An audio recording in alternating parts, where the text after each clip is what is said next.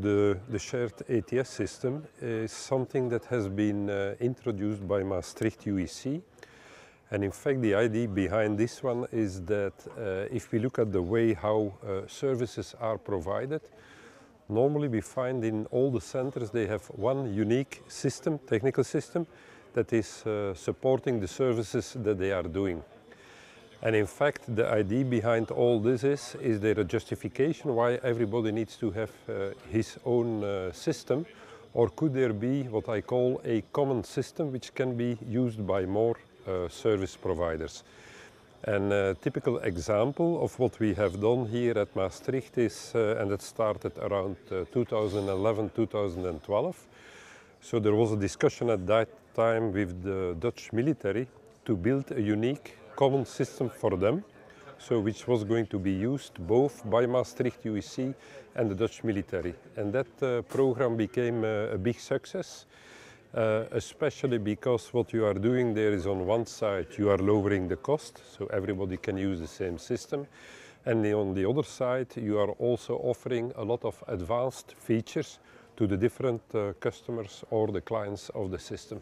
What's important for the, for the passengers is Today what they do not recognize is that if you are flying through the, uh, through the airspace, each time your aircraft is handed over from one center to another center, there is a lot of coordination that you need to do. And this coordination can be either automated or verbal, but it's a lot of uh, coordination between different centers. By the solution that we are offering, it is what they call there is a uh, seamless interaction between the different uh, centers and because they are working with the same system, there is an extreme level of uh, interoperability.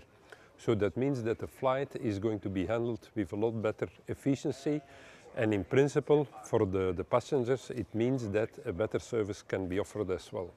The safety is improved because, for example, with the implementation that we have done for the, uh, for the Dutch military, the same level of information is available for military and civilian controllers.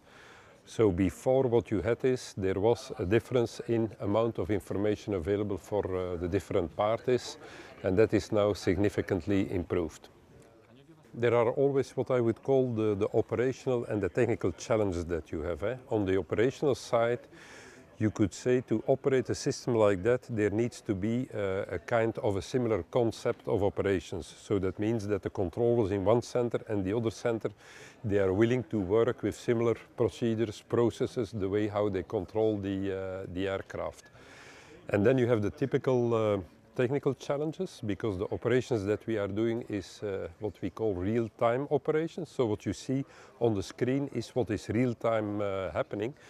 And of course, if you start to remote uh, the technical services at a certain distance, there is going to be a time slack. And the question is whether that is going to be uh, acceptable for the controller. But with modern technologies, that is no longer a limitation. And the third point I would like to mention there is also on the, the aspects of uh, security, cyber security. So the kind of connections that you have to, to make or that we are making are studied and are done in such a manner that they cannot be uh, compromised by a third party.